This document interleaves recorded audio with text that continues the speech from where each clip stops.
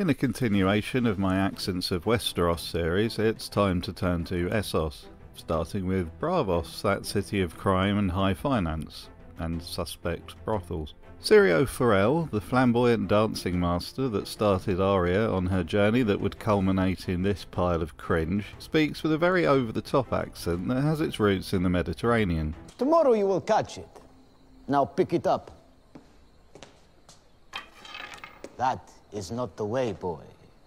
It is not a great sword that is needing two hands to swing it.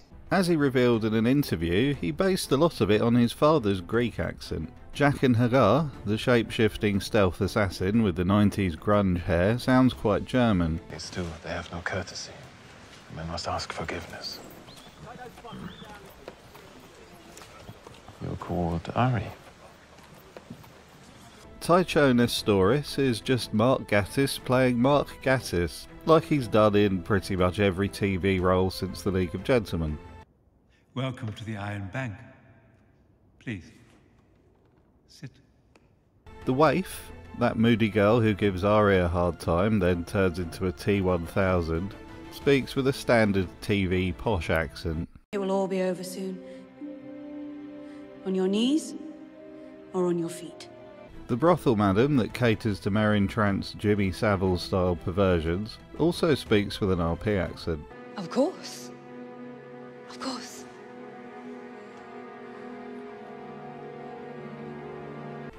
Jesus, show, you're in a completely foreign country to Westeros. Are you really this bland when it comes to character voices? The Thin Man, the loan shark scammer that rips off sailors, speaks with a sort of cockney accent in an Albert Steptoe style way. Best in the city. You wouldn't lie to an old man, would you? The acting troupe that Arya watches perform plays in Braavos are an interesting bunch. Let's take a look at what each of them sound like both in and out of character. It's all getting quite better, isn't it? Izembaro, played by none other than Richard E. Grant, speaks like a sort of aged Withnail, the same posh anger and frustration wrapped up in a giant ego. You can do better, Bianca dear. You must do. I had two lines. There are no small parts. You rang very full. His portrayal of King Robert comes with a theatrical northern accent, much like the real one. Oh! Murdered by a boar! The great big hairy whore! Bobono the dwarf that plays Tyrion sounds much the same whether he's on stage or off. Well spoken southern English. He proclaims me Hand of the King. The position's mine for life. And he's given me permission to take Sansa as my wife. Certainly a lot better than Peter Dinklage's accent. Lady Crane sounds as posh as Cersei when she's playing the part, but in private it's a bit more rough round the edges and has traces of an Australian accent. I feel the winds of winter as they lick across the land, and our son alone on that cold, cold throne, without a guiding hand. You need to know that if we're going to be intimate. Of course we're going to be intimate. It's only a matter of time. Bianca, the murderous understudy with designs on the Cersei role, sounds equally well spoken and RP both in and out of the play. My father! Truly you should. Killing the man will do you no good. Save him, please! I rang very false. Clarenzo, who gives us an eyeful of his warts, is exceedingly posh when playing Joffrey, but sounds much more estuary off stage. Good people, you may all relax. My father's friend shall be spared this. It's a wart. Two warts. And lastly, Camello, played by the underrated British comedy mainstay Kevin Eldon, has a hilarious turn playing Ned Stark with an exaggerated northern accent. I'd ask him for permission, but he smells too bloody awful! Behind closed doors, he sounds well spoken, if not completely RP. Well, don't worry, love. They usually go away in five or six years. Oh, watch this, darling. Oh, stinks of me. You'd think with all the Italian sounding names the players had, you'd get at least one non English accent, but nope. Ternesio Terys, the captain of the Titan's Daughter, the trading ship that takes Arya to Braavos, speaks with a sort of nondescript European accent. You're seeing him? I want to go north, to the wall. No, you don't. Hello, yes. In this ongoing series, I'm exploring the accents of characters in the HBO show Game of Thrones. Having previously covered Westeros, I've begun to take a look at Essos. This week it's Qarth's turn in the spotlight. Since there are so few characters actually from Qarth, I'll be covering everyone who happens to live there at the point it appears in the show. The first character we meet from Qarth is the pompous Spice King, giving Dany a hard time. He speaks in a very sure of himself RP accent. I imagine they went with this choice as there's just something wonderfully condescending about a posh upper class voice sneering at Dany and telling her she can't come in. I am not a liar. Oh, I don't think you are. But as I've never met you before, my opinion on the matter is of limited value. Where I come from, guests are treated with respect, not insulted at the gates. Then perhaps you should return to where you come from. We wish you well. The Silk King doesn't get many lines, just one that I've found so far. He speaks in an English accent with a touch of the actor's native Croatian. I believe this was a local casting decision as the filming location of Qarth was Lokrum, an island in Croatia. They're my children. I'm begging you. Begging us? It wasn't very long ago you were threatening us. Oh, without me, the dragons will die. Pyat Pree, the warlock and kidnapper of dragons, is not someone you'd leave your kids with. He speaks in a creepy Edinburgh accent. I'm not sure as to why the showrunners decided to go with this, but it stands out enough to be unusual and adds a spooky quality to the character. On behalf of the Warlocks of Qarth, I welcome you. A demonstration. Should you grow tired of Xaro's baubles and trinkets, it would be an honor to host you at the House of the Undying. Just a quick note to say that if you enjoy these videos, please consider subscribing as it helps get them out there to more viewers. Thanks. Xaro Xhoan Daxos, the self-proclaimed richest man in Qarth and notable liar in that regard, speaks in a very upper-class RP accent.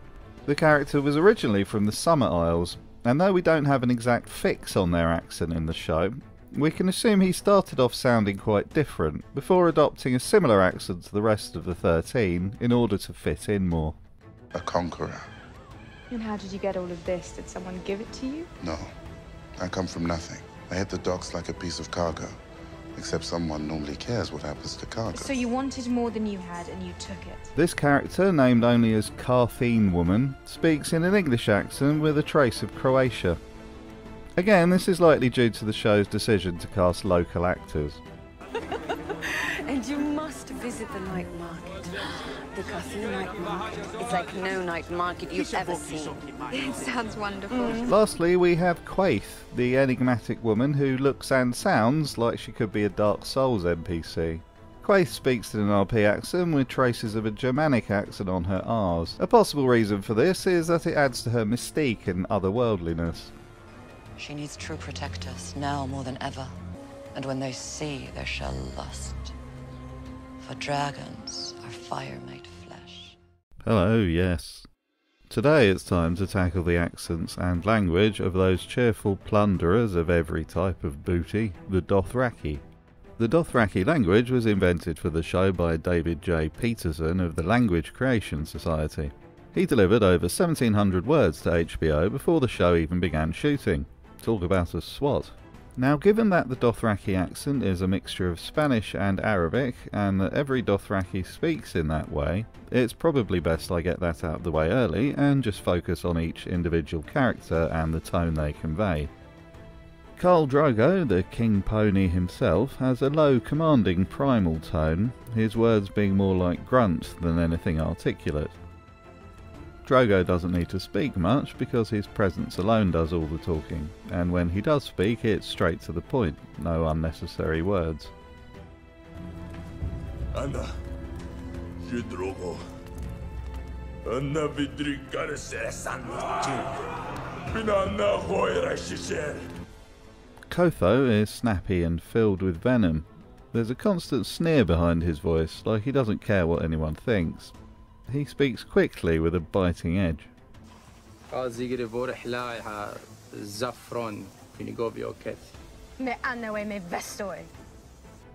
Cohollo has a gravelly and deep but quieter voice than Drogo. He sounds a little more controlled but still aggressive when needed.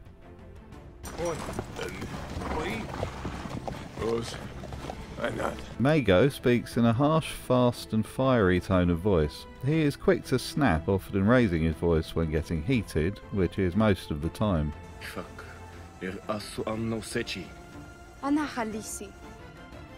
Youthful but firm, Rakharo speaks with energy and enthusiasm, though there's a seriousness to his tone when things get intense.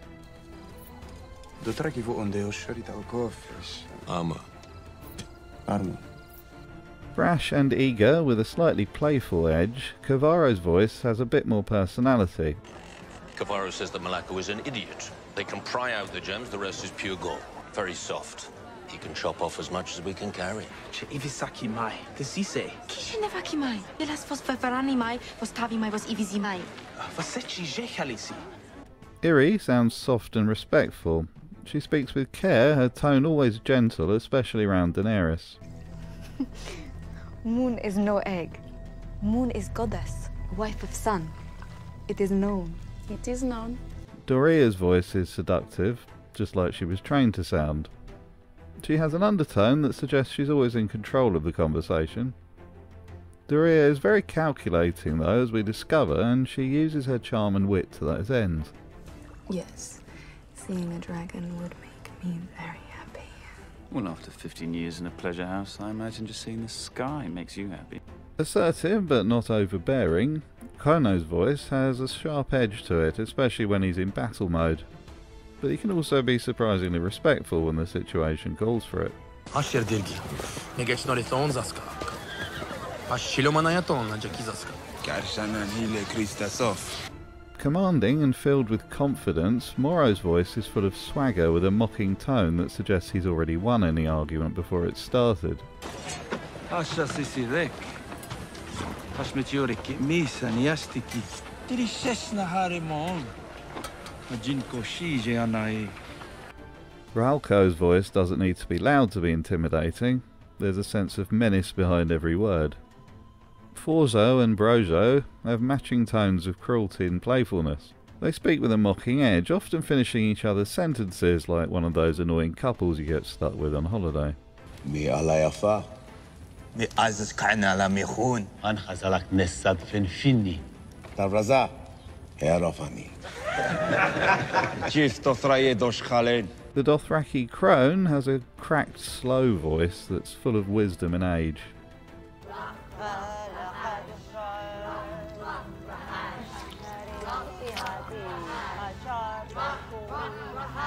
The High Priestess's voice carries a spiritual quality as if pulling from a higher power. She speaks in a hypnotic rhythm. Asilaki Yankasores, Tiorias, Zin Hajaki. Jinak, Lazari, Halirge Virsa Vaisish. Trisererek. Ego has a raspy, worn down accent like he spent too long riding and drinking. Aggo is very deliberate and to the point, no time for bullshit. Ajin le sosh. Hashafka la zidre kisharaka anaka. Fin yeri shijeri. Sawafi.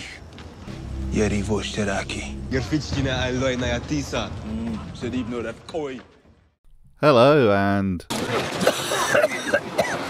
Well, we've reached the end of Game of Accents, but have no fear, there are plenty of other fantasy shows, films, and games, so I won't be going anywhere anytime soon. Hopefully. This week it's time to round up the remaining Essos characters and grill their accents like Drogod grilling a fat boy's family. Melisandre hails from Asshai, like Quaithe, and also has a mysterious accent that's hard to place.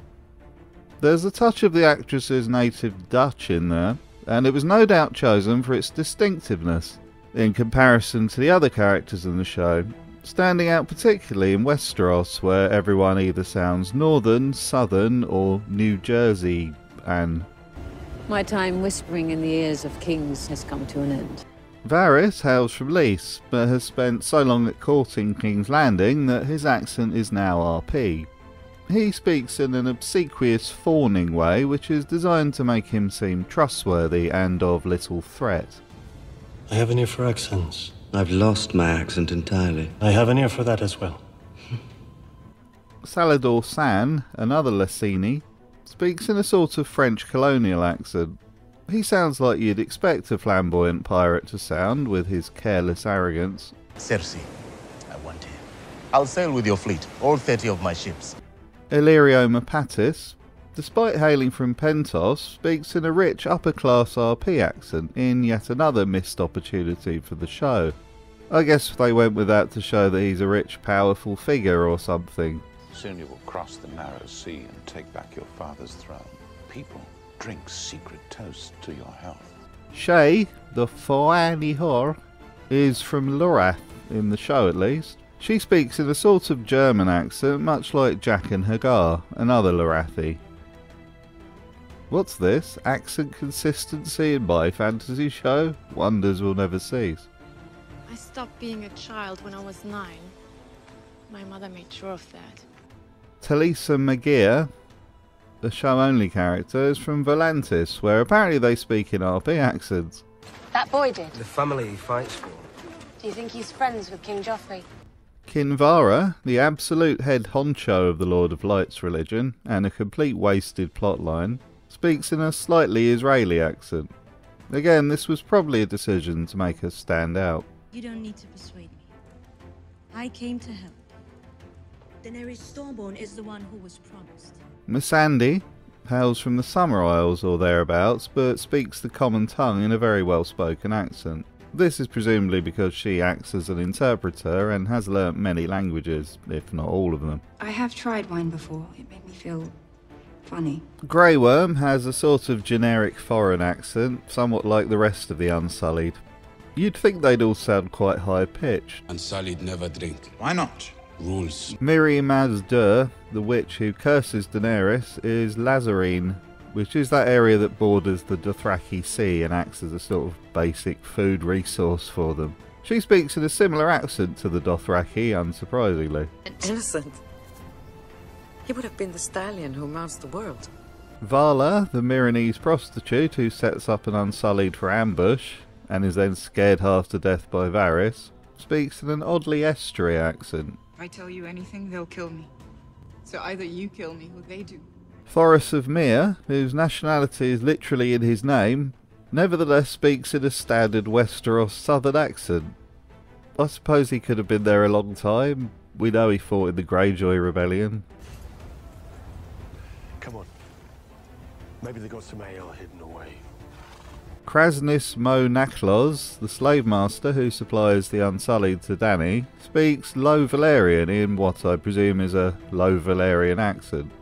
It sounds suitably exotic with a touch of Egyptian.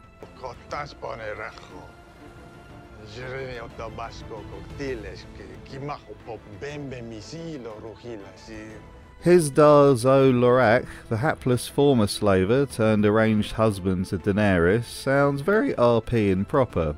Perhaps he only speaks that way when he's speaking Westerosi. I've spent much of my life in this arena, and in my experience, larger men do triumph over smaller men. Areo, who gets one good line in the whole show, speaks in a standard estuary accent despite living in Dorne for years and hailing from Norvos. When you were whole, it would have been a good fight. The wine seller, who completely screws up poisoning Dany, then has to run along behind a horse with his cock and balls out, speaks in a nervous estuary accent with some touches of somewhere else. It would be a crime to drink a wine this rich without at least giving it time to breathe. Do as he says. Razdal Mo Eraz, the Yunkai slave trader who craps himself when he sees Daddy's dragons, has a well spoken accent with the faintest hint of Middle Eastern. Our empire was old before dragons stirred in old Valyria. Prendahl Na Ghezn, one of the second son captains, gets about one line and speaks it with a sort of Eastern European accent. Our contract is our bond. If we break our bond, no one will hire the second sons again. His co captain Mero has a sort of Cockney accent verging on well spoken. Not sure where he's supposed to be from, so I guess we can let that slide. You're the mother of dragons. I swear I fucked you once in a pleasure house in Leeds. Mind your tongue. And lastly, Daario Naharis, the first one, speaks the same way as Mero. I hope the old man is better with a sword than he is with a lie. You have 8,000 unsullied. After he went off to be in Deadpool, His replacement is a bit more well spoken, though to me he sounds sort of like Jaime. The pile of angry muscles never had any muscles here. Or. here. And that about wraps it up for Game of Thrones. Bye then.